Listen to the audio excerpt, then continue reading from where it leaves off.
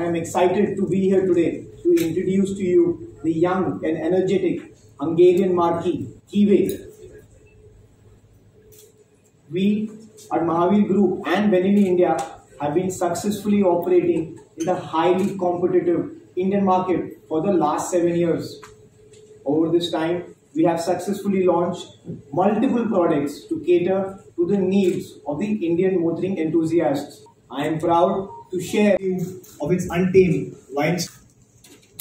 The K-Light 250V is powered by a two-cylinder V-twin 250cc engine, making it India's most affordable V-twin offering in the market segment.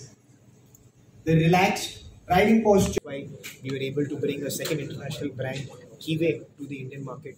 Keeway uh, is uh, origin- originated from Hungary, uh, uh, available in 89 plus countries globally, and now we brought it to India. So after Benelli, is our uh, second product that we are uh, bringing to the Indian market.